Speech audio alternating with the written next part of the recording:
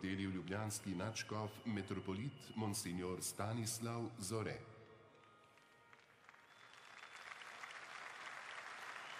V imenu Očeta in Sina in Svetega Duha. Amen. Bog naš Oče, dolgo že hodiš z našim ljudstvom, blizu si mu ostaja včasih obilja, to lažje vsega in krepi v časih stisk in preizkušenj.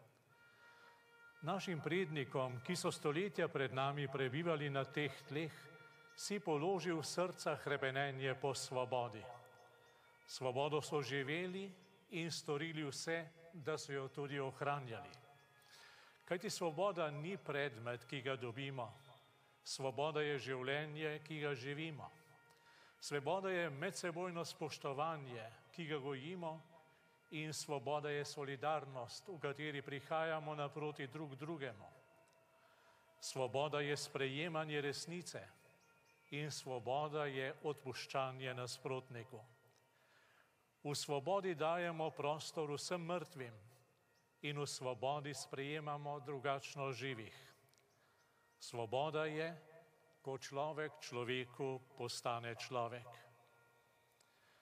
Svoboda je tudi sposobnost dogovarjanja, usklajevanja in skupnega odločanja o skupnih zadevah. Rodovi pred nami so to pogosto delali pod lipo, ki je rasla ob vaški cerkvi, na vaškem ali mestnem trgu, kjer je bilo to drevo prostor skupnega srečevanja, pa tudi prostor skupnega odločanja. Zato smo tudi mi pred 30 leti posadili to lipo, Načkov Šuštar pa jo je skupaj s senjorjem Novakom blagoslovil, da bi svoje korenine pognala globoko v našo zemljo ter svoje veje razpela daleč pod nebo, da bi bila trdna v viharju in radostna v soncu. In res je, previharila viharje, preživela premike, poslušala resnice in leži, doživljala proslave in proteste in rasla. Danes raste pred nami, da bi nas spomnila, da kdaj morda ne rastemo tako hitro, kot bi si želeli, a to ne more uničiti naše rasti. Zato bo ob njej zmolili, kakor so molili naše dedje, potem pa jo bomo blagoslovili.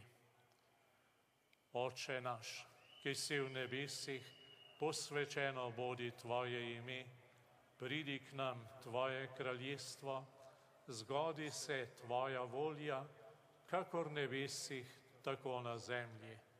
Daj nam danes naš vsakdanji kruh in odpusti nam naše dolge, kakor tudi mi odpuščamo svojim dolžnikom in ne upeli nas skušnjavo, temveč reši nas hudega. Vsemogočni Bog, blagoslavljamo lipo, ki smo jo posadili kot pomnik razglasitve samostojnosti naše države Slovenije. 30 let je rasla skupaj z nami. Ponovno jo blagoslavljamo in te prosimo, naj bo nam in prihodnjim rodovom znamenje, da ti blagoslavljaš našo domovino, njeno prihodnost in vse njene prebivalce. Da vsem tistim, ki so in še bodo odgovorni za skupno blaginjo, poštenje, modrost in moč, nam pa pravičnost in ljubezen do bližnjega, to te prosimo po Kristusu, našem Gospodu. Amen.